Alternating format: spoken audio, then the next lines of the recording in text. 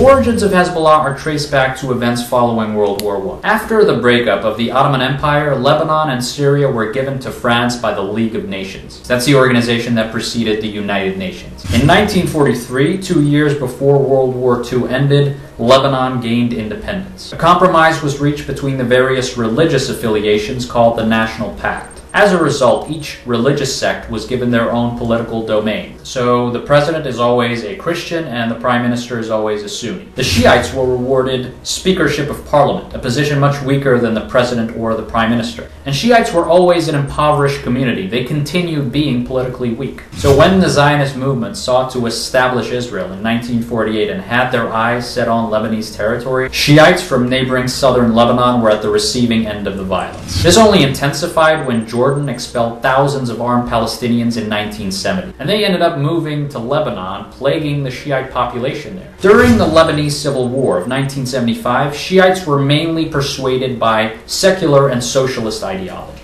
They participated in the civil war under the umbrella of the Lebanese National Front. But as Shiite calamities continued to climb in 1982 and Israel initiated a full scale invasion, secular ideologies failed to provide meaningful solutions. Out of all this, a new attempt was made by the disillusioned Shia to start a new chapter of resistance. That culminated into Hezbollah, the Party of God.